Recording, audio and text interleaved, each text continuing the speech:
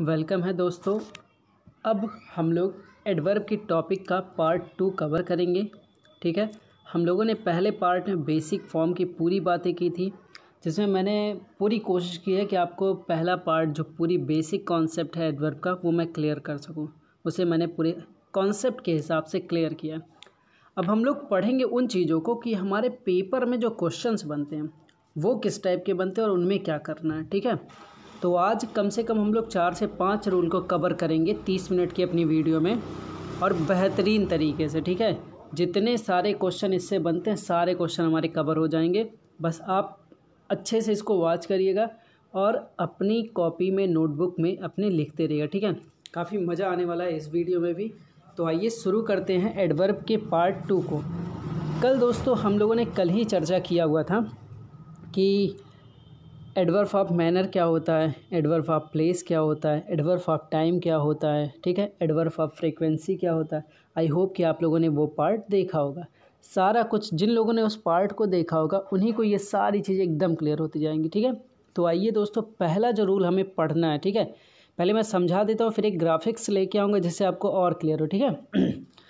तो अब जो हम लोग पढ़ने जा रहे हैं, उस पर हमारा ध्यान ये होना चाहिए कि तो देखिए उस पर अब जब पढ़ेंगे हम तो हमें दो चीज़ों की बात ध्यान रखेंगे। जैसे पहला, एक तो पहले हमें मैनर का यूज़ करना पड़ेगा, ठीक है? सेंटेंस के स्टार्टिंग से मैनर चाहिए, फिर सीक्वेंस में प्लेस चाहिए, फिर सीक्वेंस में हमें टाइम चाहिए।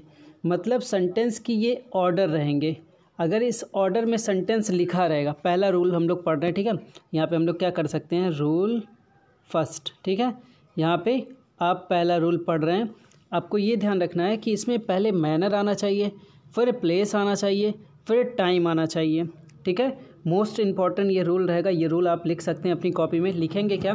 कि अगर सेंटेंस में इन तीनों चीज़ों की बात हुई हो तो पहले मैनर आएगा, फिर प्लेस आएगा, फिर टाइम आएगा, ठीक है? इस चीज़ को आपको ध्यान रखना है इसका मैं एक आपको इमेज दिखाना चाहता हूँ और इस इमेज के ज़रिए समझाऊँगा ताकि आपको ये बात पूरी कंफर्म हो जाए क्लियर हो जाए, ठीक है? आइए चलते हैं उस इमेज की तरफ़, ठीक है? आइए दोस्तों, देखिएगा वो इमेज आ गया हुआ है और इस इमेज से हम क्लियर करेंगे कि क्या हमें समझना है, ठीक है? जैसे लिखा हुआ है कि यदि वाक्य में, ठीक है वर्ब के बाद दो या दो से अधिक वर्ब एडवर्ब आए हों तो उनका क्रम, ठीक है? मैंने बोला था मैनर आएगा प्लेस आएगा टाइम आएगा। इन तीन चीज़ों की बात मैंने की थी। मैनर प्लेस और टाइम पे। ठीक है? अब देखते हैं इनमें क्या हमें प्रोसेस अपनाना है और कैसे हमारा सेंटेंस सही होगा। जैसे देखिए लिखा है, Mrityunjay ran in the race fast अब देखिए रेस क्या हो गया? रेस हो गया एक प्लेस यहाँ पे बहुत अच्छे से एक्सप्लेन है और थोड़ा जूम आउट कर लेते हैं ताकि आपको क्लियर हो। ठीक है? आइए। ये क्लियर हो जाएगा। ठीक है? रेस क्या है दोस्तों? ये है प्लेस ठीक है? और फास्ट क्या है? ये है मैनर तो पी और यम का तो कोई प्लेस हमने पढ़ा नहीं है। कि पढ़ा है? नहीं पढ़ा है। हमें क्या आपने बताया कि पहले मैनर आएगा, फिर प्लेस आएगा, फिर टाइम आएगा? तो ये तो उल्टा लिखा हुआ है। इसको सही करना पड़ेगा। तो ये लाइन अभी क्रॉस कर देते हैं। इसको सही हम लोग कैसे करेंगे? देखिए, मृत्युंजय रैन फास्ट आ गया ना? ये आ गया आपका मैनर और मैंने आपको एक बात बोली थी कि भैया फास्ट का फास्टली नहीं बनता, इस बात को आपको ध्यान रखना है। ये आ गया मैनर और ये आ गया इन द रेस, ये हो गया क्या? प्लेस। तो मैनर हो गया, प्लेस हो गया। भाई सेंटेंस में टाइम का ज़िक्र नहीं है तो टाइम से हमारा कोई मतलब नहीं है, ठीक है? जब टाइम का ज़िक्र नहीं है तो हमें टाइम से कोई मतलब नहीं है। तो देखिए, इसमें, इस ग्राफिक्स में आप देख पाएँगे कि कौन सा सही है। इसमें बहुत अच्छे से ये वाली लाइन को क्रॉस कर दिया गया, क्योंकि ये प्लेस और मैनर बताया ये वाली लाइन को सही कर दिया, क्योंकि इसने मैनर और प्लेस को बताया ये रहा मैनर और ये रहा प्लेस। क्लियर हो गया होगा? नेक्स्ट एग्ज़ाम्पल में देख लीजिए। लिखा हो हिज पेरेंट्स ठीक है? विल अराइव टुमारो हियर अब ये टुमारो क्या हो गया दोस्तों? टाइम हो गया। और ये क्या हो गया? प्लेस अब देखिए, कभी टी और पी का कोई मैंने सीक्वेंस ही आपको नहीं बताया। सीक्वेंस किसका बताया? मैनर आएगा प्लेस आएगा टाइम आएगा। इसी का सीक्वेंस है ना? तो टी और पी का तो कोई प्लेस ही नहीं है, कोई तरीका ही नहीं है। पहले प्लेस आता फिर टाइम आता तो ठीक रहता। तो आइए, उसको सही कैसे किया गया, उसको देखते हैं, ठीक है? देखिएगा यहाँ पे। काफ़ी अच्छे से यहाँ एक्सप्लेन हुआ है, लिखा हुआ है। देखिए एग्ज़ाम्पल में लिखा हुआ है। ये वाला एग्ज़ाम्पल था, इस एग्ज़ाम्पल को क्रॉस कर दे, क्योंकि टाइम पहले आया था प्लेस बाद में। आना क्या चाहिए? पहले प्लेस आना है, फिर टाइम तो देखिए हिज पेरेंट्स विल अराइव ये रहा प्लेस क्या रहा? प्लेस और ये रहा टाइम हो गया ना सीक्वेंस में? यही आपको ध्यान रखना है। तो जिन लोगों ने फ़र्स्ट पार्ट नहीं देखा, उन्हें इस थोड़ी प्रॉब्लम होगी इसे समझने में। क्योंकि मैंने पहले ही कहा था कि वो जो कॉन्सेप्ट मैं बता रहा हूँ, उससे रिलेटेड क्वेश्चन आपसे पूछे जाते हैं। तो फिर जाके मैनर प्लेस टाइम फ्रिक्वेंसी सब कुछ चेक कर डालिएगा ठीक है? लास्ट एग्ज़ाम्पल एक इसी में देख लीजिए। लिखा है, Radha dance beautifully last night in the school अब दोस्तों, एक चीज़ देखिए, ये हो गया मैनर यहाँ देखिए लिखा हुआ है। आपको बताया था मैंने कि किसी भी, यहाँ और अच्छे से लिख लेते फिर से। कि किसी में एल वाई लगा हुआ है तो उसे हम मान लेंगे कि वो मैनर है, ठीक है? यहाँ देखिए ब्यूटीफुली लिखिए मैनर बना हुआ, ठीक है? यहाँ लास्ट नाइट टाइम दे दिया हुआ है, ठीक है? और ये दिया है प्लेस अब देखिए इसमें लिखने की इन्होंने कोशिश करी है। पहले लिखा इन्होंने मैनर फिर लिखा इन्होंने टाइम और फिर लिखा इन्होंने प्लेस तो ये तो कोई सिक्वेंस नहीं हुआ। ये कोई सीक्वेंस नहीं हुआ। सीक्वेंस क्या है दोस्तों? पहले मैनर आएगा, फिर प्लेस आएगा टाइम आएगा। ये तो आपको रट चुका होगा पूरी लाइन एमपीटी ठीक है? तो इसको पूरी तरीके से सही कैसे करेंगे? तो उसको सही करने के लिए ब्यूटीफुल्ली जहाँ है वहीं रहेगा, उसमें कोई दिक्कत नहीं है। लेकिन अभी हमें प्लेस लेके आना है। इन द स्कूल क्या है? प्लेस है। और लास्ट नाइट क्या है? टाइम है। हो गया। ये मैनर हो गया। ये प्लेस हो गया। ये हो गया टाइम सेंटेंस क्या हो गया? पूरा सिक्वेंस में हो गया। होप कि ये लाइन आपको समझ में आ गई होगी। ठीक है? ओके दोस्तों, अब हम लोग फिर एक रूल को समझेंगे। ये हमारा एक रूल था। वो हमें क्लियर हो गया। अब हमें एक रूल और जानना है। इसी से रिलेटेड वो रूल है। अभी क्या करना है कि हमारे पास कुछ शब्द आएँगे स्पेशली कुछ शब्द, उसमें एट्सेट्रा भी लगा रहेगा, लेकिन आप जो मैं बताऊँगा ना, उन्हीं पे आप फोकस करिए। जैसे अगर कभी आपके सेंटेंस में अराइव लिखा हो, क्या लिखा हो? अराइव ठीक है? कभी आपके पास अराइव लिखा हो, कभी कम लिखा हो, ठीक है? कभी कम लिखा हो, कभी गो लिखा हो, ठीक है? और एक और वर्ड जानिए, कभी इंटर लिखा हो, ठीक है? इन चार शब्दों का अगर सब्जेक्ट के बाद यूज़ हुआ है एज अ वर्ब ठीक है? अगर इनका यूज़ होगा सेंटेंस में, किस चीज़ में? एज अ वर्ब ठीक है? इसको समझते हैं। कह रहा है कि अगर ये सेंटेंस में आपके पास एज अ वर्ब यूज़ हो रहा है तो आपको याद रखना है कि अभी तक जो हम लोगों ने ऑर्डर दिखा था, ठीक है? ऑर्डर क्या हमें बताया गया था? मैनर प्लेस और टाइम तो इसका ऑर्डर चेंज हो जाता है दोस्तों। क्यों? क्योंकि गो लिखा है, कम लिखा है अराइव लिखा और इंटर लिखा है। ऐसे में ऑर्डर चेंज हो जाएगा और ऑर्डर क्या बनेगा? पहले भैया आ जाएगा प्लेस और फिर आपको रखना पड़ेगा मैनर इन्हीं पे बात होगी, ठीक है? क्लियर कर पा रहे हैं कि अगर अराइव कम और गो इंटर अगर सेंटेंस में आएगा तो क्रम क्या हो जाएगा? पहले प्लेस आ जाएगा, फिर मैनर आ जाएगा. चलिए एग्ज़ाम्पल पे चलते हैं ताकि आपको ये बात और क्लियर हो पाए, ठीक है? देखिए दोस्तों, ये एग्ज़ाम्पल मैं आपको समझाना चाहूँगा। देखिए, यहाँ पे लिखा है एराइव कम गो एट्सेट्रा को यहाँ पे इंटर छूट गया, यहाँ पे इंटर लिख लेते हैं, ठीक है? इंटर एक शब्द छूट गया था, को वर्ब ऑफ़ मूवमेंट्स बोलते हैं, ठीक है? वर्ब ऑफ़ मूवमेंट्स मूवमेंट ठीक है? कहा जाता है, इनके साथ पहले एडवर्फ ऑफ़ डेस्टिनेशन आता है मतलब पहले प्लेस आता है, उसके बाद क्या होता है एडवर्फ ऑफ़ मैनर आता है। तो दोस्तों, यहाँ पे देखिए लिखा हुआ है अराइव कम गो लिखा है। आपने बोला कि इंटर भी लिख लें इंटर भी लिख लें यहाँ पे। तो फिर तुरंत क्या है पहले प्लेस आया है, फिर क्या आएगा, फिर मैनर आएगा। आइए देखते हैं सेंटेंस में। लिखा हुआ है the girls went quickly home अब देखिए दोस्तों, हो क्या रहा है? कि यहाँ पे तो आ गया वर्ब जो कि हमने बोला था कि गो वेंट गो वेंट कौन तो फॉर्म बन जाएगा गो का फॉर्म आ गया। क्विकली क्या हो गया? ये मैनर हो गया। आपको पता है कोई भी एल वाई वाला वर्ड क्या होता है? तुरंत का तुरंत मैनर वाला होता है। और ये हो गया प्लेस एक कहने के अकॉर्डिंग तो मैनर प्लेस और टाइम होता है। वो बात तो क्लियर है। लेकिन इसमें सही क्या होगा? और किन वजहों से होगा? उसको फिर से हम समझते हैं कि अगर इन शब्दों का यूज़ होगा, ठीक है? तो ऐसे कंडीशन है, भैया, तुरंत पहले प्लेस आ जाएगा, ठीक है? फिर क्या आ जाएगा? मैनर आ जाएगा। बात क्लियर हो गई है। चलिए बढ़ते हैं एक नए नियम पे। इनसे क्वेश्चन पूछा जाता है, ठीक है? चलिए दोस्तों, कुछ और नियम को देखते हैं। पहला नियम हमारा क्लियर हो गया है। अब हम बढ़ेंगे कुछ और नियम पे, ठीक है? आइए देखते हैं और कौन सा नियम हमारे पास है। देखिएगा, इसको ऊपर कर लेते हैं। अभी मैं फिर से रूल्स आपको समझा दूँगा, ठीक है? देखिएगा। अब हमारे पास जो नियम आ रहा है, वो नियम हमें ध्यान से देखना पड़ेगा फिर, ठीक है? जैसे अगर कभी आपके सेंटेंस में, ठीक है? किन की बात हो? टू की बात हो, ठीक है? टू लिखा हुआ है। और टू के साथ कुछ यूज़ हो, ठीक है? टू के साथ क्या यूज़ हो? मच का यूज़ हो इसमें, ठीक है? कभी टू के साथ मच का यूज़ हो, ठीक है? टू मच लिखा रहेगा। तो जब टू मच की बात करेंगे तो यहाँ पे आएगा नाउन। आपको ये रूल याद रखना है, इसमें क्वेश्चन पूछे जाते हैं। टू मच की बात होगी तो आएगा नाउन। और कभी अगर मच टू की बात होगी, ठीक है? किसकी बात होगी? मच टू की। मतलब उन्हीं लाइनों को थोड़ा इधर उधर कर दिया है। मच टू की बात होगी तो यहाँ पे आएगा भैया एडजेक्टिव। तो ये रूल आपको क्लियर रखना है। इसमें रूल्स आपको बहुत ध्यान से देखना पड़ेगा, ठीक है? टू मच आएगा तो नाउन रहेगा मच टू रहेगा तो एडजेक्टिव। अच्छा इसमें क्वेश्चन कैसे पूछा जाता है उसको देखते हैं, ठीक है? चेंजेस क्या क्या करने हैं उसको भी देखेंगे, ठीक है? आइए समझते हैं। एग्ज़ाम्पल मैं यहीं पे लिखता हूँ, ठीक है? ताकि आपको समझ में आए ये बात। देखिएगा। मैं पहला एग्ज़ाम्पल यहाँ पे लिखा हूँ। जैसे लिखा हुआ ही हैज़ ठीक है? ही हैज़ ठीक है? ही हैज़ गॉट या गट जो भी आप पढ़िए गॉट ठीक है? मच लिखा हुआ है, देखिएगा। मच यहाँ लिखा है टू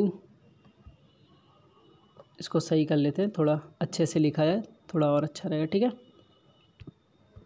देखिए इसको थोड़ा शॉर्ट कर लेंगे तो पूरा हम लोग को दिखने लगेगा, ठीक है? आइए।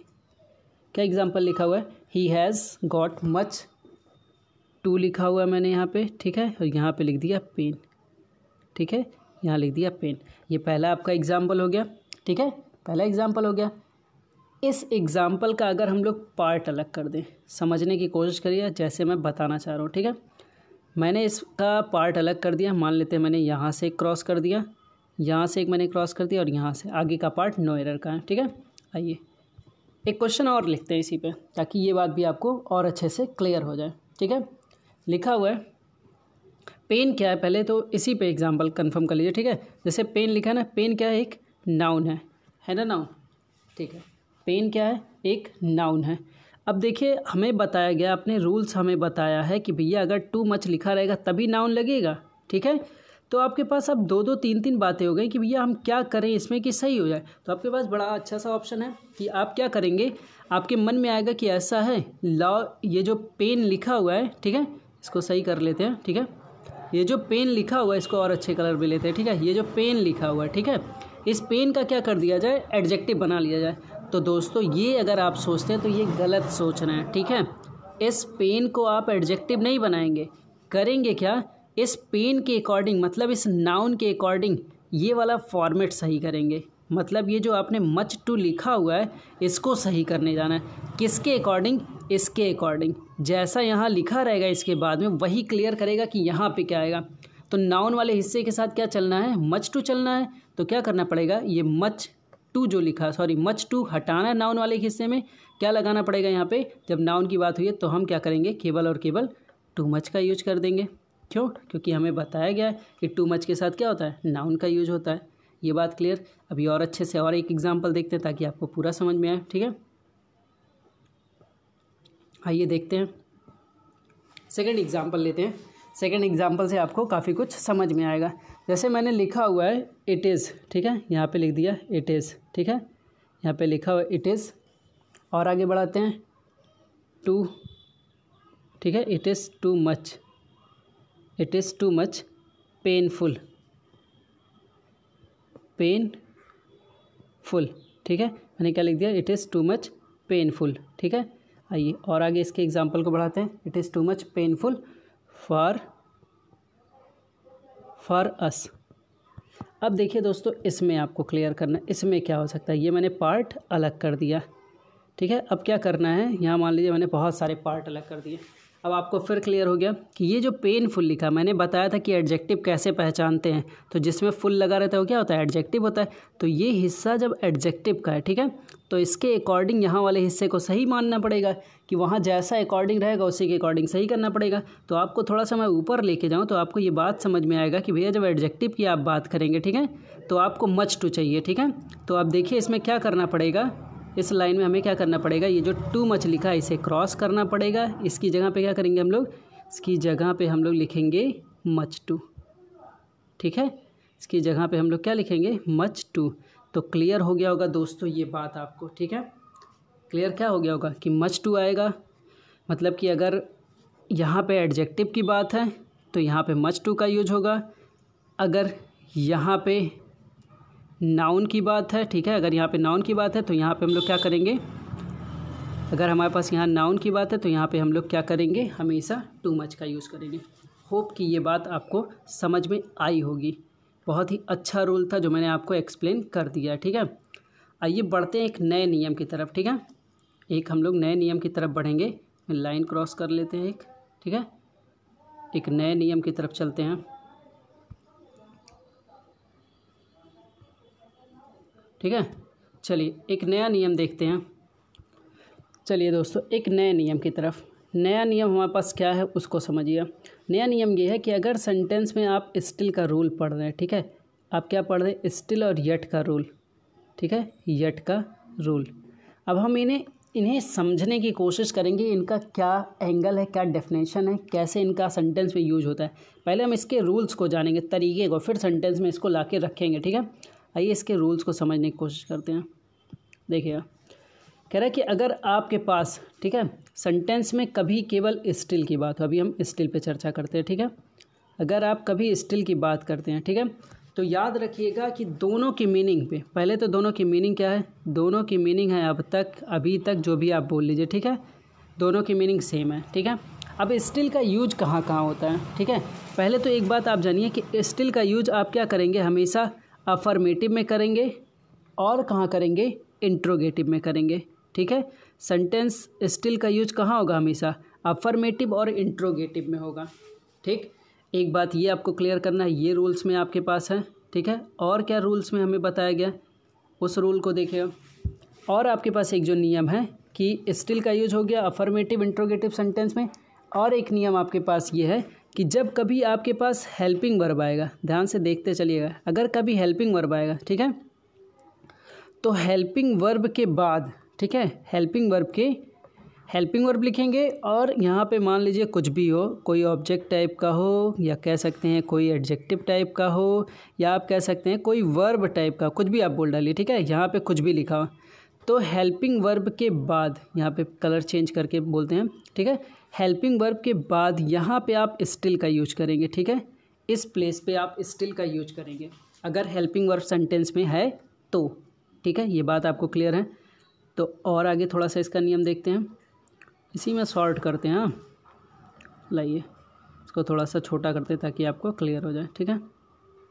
देखिए, एक नियम हमें बताया गया कि स्टिल का यूज़ क्या होता है? अफर्मेटिव इंट्रोगेटिव में होता है, ठीक है? हमेशा हेल्पिंग वर्ब और मेन वर्ब के बीच में रहेगा। ये हो गया हेल्पिंग वर्ब और ये रहा कुछ भी, ठीक है? ऑब्जेक्ट एडजेक्टिव नाउन कुछ भी, एक मेन वर्ब के बीच में। कह रहा है, एक जगह और आप स्टिल का यूज़ करेंगे कि आप तुरंत सब्जेक्ट पा जाइए, ठीक है? सब्जेक्ट लिखाओ और मेन वर्ब लिखाओ ठीक है? अगर सब्जेक्ट लिखा हो और क्या लिखा हो? सीधा मेन वर्ब लिखा हो। तो ऐसे कंडीशन में आप स्टिल का यूज़ किस प्लेस पे करेंगे, उसको देखिए। ऐसे में आप स्टिल का यूज़ यहाँ करेंगे, ठीक है? यहाँ पे आपके पास स्टिल का यूज़ रहेगा। तो दो बातें आपको, आपने पाया कि जब हेल्पिंग वर्ब के रहेगा तो हेल्पिंग वर्ब के बाद लगेगा और अगर मेन वर्ब रहेगा तो मेन वर्ब के पहले लगेगा। ये बात आपको क्लियर रहना चाहिए, ठीक है? आइए इसके एग्ज़ाम्पल देखते हैं ताकि ये बात आपको क्लियर हो जाए पूरा। देखिएगा, एक दो एग्ज़ाम्पल में आपको ये बात क्लियर हो जाएगी, ठीक है? चलिए देखते हैं इसके दो तीन एग्ज़ाम्पल ताकि ये बात आपको कन्फर्म रहे। पहला एग्ज़ाम्पल हम लोग ले लेते हैं। जैसे हम लोग अगर बोले कि, देखिएगा सी इज़ थोड़ा हम लोग इसके एग्ज़ाम्पल को दूर करते हैं, ठीक है? इसको इरेज कर लिया जाए, ताकि अच्छे से हमें समझ में आए, ठीक है? ठीक है, आते हैं। एग्ज़ाम्पल लेते हैं, जैसे ही इज़ ठीक है?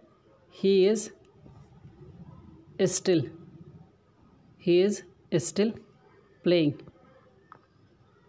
he is still playing ठीक है?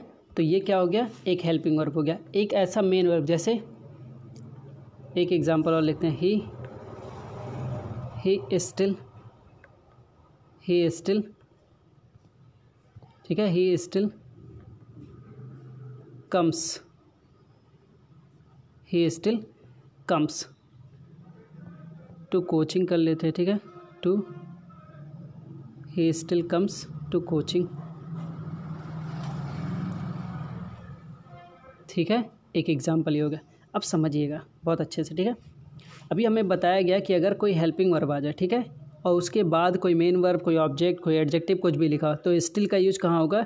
इस प्लेस पे होगा। तो प्लेस क्या है एकदम से? हेल्पिंग वर्ब के बाद मेन वर्ब के पहले, ठीक है? कह रहा है कि अगर सेंटेंस पे डायरेक्ट कोई मेन वर्ब आ जाए यहाँ पे जैसे मेन वर्ब आ गया और यहाँ सब्जेक्ट आ गया। तो स्टिल का यूज़ कहाँ होगा? मेन वर्ब के पहले। तो ये आपने यूज़ इसका करेक्ट और सही से पढ़ा हुआ, ठीक है? यूज़ में कोई गलती नहीं है। तो एक रूल तो आपने ये क्लियर किया, ठीक है? स्टिल का यूज़ कहाँ एक्चुअल में होता है, ठीक है? तो ये तो यूज़ जो था, वो क्या था?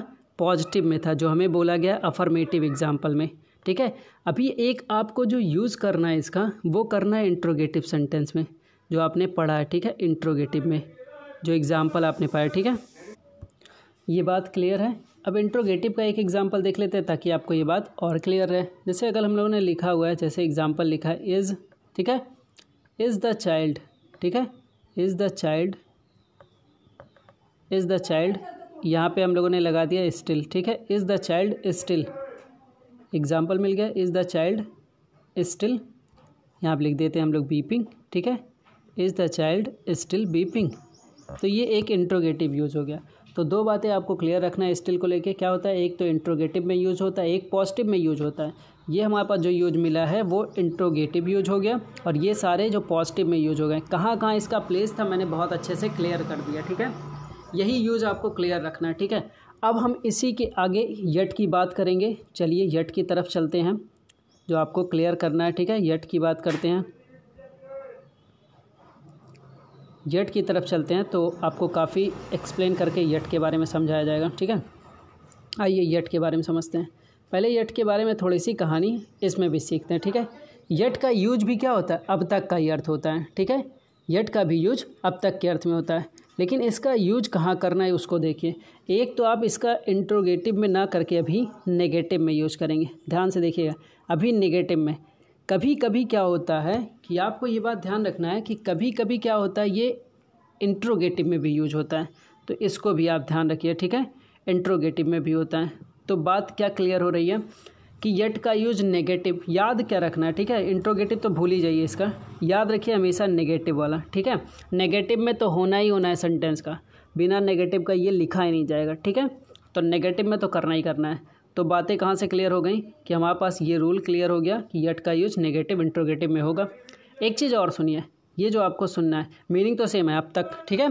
अब इसके प्लेस का, कहाँ पे इसका प्लेस यूज़ होगा, ठीक है? ये यट आप कहाँ पे यूज़ करेंगे? तो ये जो यट का आप यूज़ करेंगे, ठीक है? ये हमेशा सेंटेंस के, ठीक है? कहाँ पे? सेंटेंस के एकदम लास्ट में रहेगा।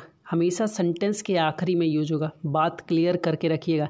हमेशा सेंटेंस के आखिरी में यूज़ होगा। एक बात और इसी में देखिए, ठीक है? थोड़ा, ठीक है? एक तो सेंटेंस के आखिरी में यूज़ होगा, ये बात हमें क्लियर हो गया, और हमेशा परफेक्ट टेंस में यूज़ होगा, ठीक है भैया? ये बात तो और इंपॉर्टेंट है, हमेशा परफेक्ट टेंस और कौन सा परफेक्ट हमेशा प्रजेंट परफेक्ट बोलिए, ठीक है? प्रजेंट परफेक्ट बोलिए, या फिर उसे पास्ट परफेक्ट बोलिए। हमेशा परफेक्ट टेंस में इसका यूज़ होना है। कहाँ होगा? सेंटेंस के एकदम आखिरी में होगा, ठीक है? यट का यूज़ ठीक है? Negative use mainly negative use होता है। इंट्रोगेटिव भी यूज़ कर लेंगे, लेकिन मेनली क्या होगा? नेगेटिव यूज़ होगा। आइए एग्ज़ाम्पल में समझते हैं तो काफ़ी मज़ा आएगा। एग्ज़ाम्पल लेते हैं, ठीक है? एग्ज़ाम्पल देखिएगा इसमें, काफ़ी अच्छा अच्छा लिखा है। जैसे लिखा ही हैज़ ठीक है? ही हैज़ ठीक है? ही हैज़ यहाँ मैंने लिख दिया रीच्ड ठीक है?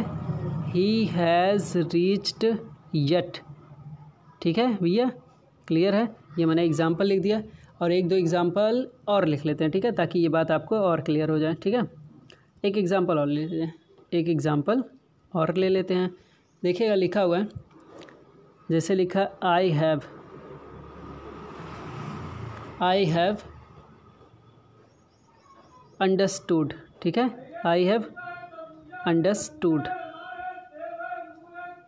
ठीक है? आई हैव अंडरस्टूड पूरे सेंटेंस को लिख लेते हैं। आई हैव अंडरस्टूड ठीक है? I have understood it yet अब देखिएगा मज़ा इस क्वेश्चन का, ताकि आपको क्लियर हो पूरा, ठीक है? मैंने पार्ट अलग कर दिया भैया, ठीक है? पार्ट यहाँ से डिवाइड कर दिया। यहाँ से भी एक वाइट कलर का ले लेते हैं पार्ट अलग कर देते हैं। लीजिए भैया पार्ट अलग हो गया। नो एरर का पोर्शन बन गया। क्या सही होगा, कैसे करना है, ठीक है? अब देखिए कह रहा है कि जब भी कभी सेंटेंस में, ठीक है यट की बात होगी तो पहली चीज़ ध्यान रखनी है, वो टेंस हमेशा परफेक्ट टेंस रहेगा। वो चाहे प्रेजेंट परफेक्ट बोलिए या पास्ट परफेक्ट ठीक है प्रेजेंट परफेक्ट टेंस को रिलेट कर रहा है, ठीक है। यट क्या करेगा? परफेक्ट टेंस लेगा। और हमेशा क्या होगा? नॉट के साथ यूज़ होगा। तो ये जो हैज़ लिखा ना, इसके साथ आपको यहाँ पे नॉट लगाना है। तो सेंटेंस क्या बन जाएगा? He has not reached yet ठीक है। सेम गलती इसमें भी। I have understood it yet मैंने अब तक यह चीज़ समझ चुका हूँ तो अब तक यह नहीं समझ पाया हूँ। यट का यूज़ होना मतलब कि सेंटेंस में नेगेटिव आना ज़रूरी है। तो आप क्या करेंगे यहाँ पे? नॉट का यूज़ करेंगे। होप कि ये बात आपको क्लियर हुई हो कि इसका यूज़ कैसे करना है। क्लियर हो गया होगा। ठीक है? तो और आगे बढ़ते हैं। नेक्स्ट